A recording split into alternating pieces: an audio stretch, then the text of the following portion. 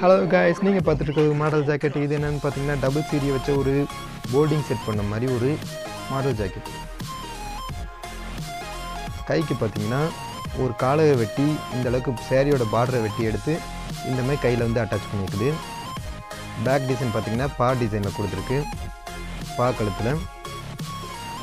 இந்த சீரி ரோப்பும் இந்த மணியும் தை தைக்கிறவங்களே எடுத்து கொடுத்துட்டாங்க. அப்படி இருந்து இந்த ஜாக்கெட்டோட தைக்குள்ளேயே ஆணுறுவா கைக்கு வந்து காலை செட் பண்ணியிருக்கனால இது கையில் வந்து சுருக்கே வராது.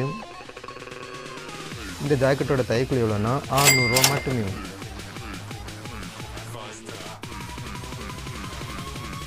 உங்களுக்கு இந்த மாதிரி ஜாக்கெட் தைச்சு பழகணும்னு ஆசை இருந்தால் கமெண்ட் செக்ஷனில் கமெண்ட் பண்ணுங்கள் உங்களுக்கு மேலும் இந்த மாதிரி வீடியோ பார்க்கணுன்னா நம்ம லவ்லி டெய்லர் சப்ஸ்கிரைப் பண்ணிக்கோங்க.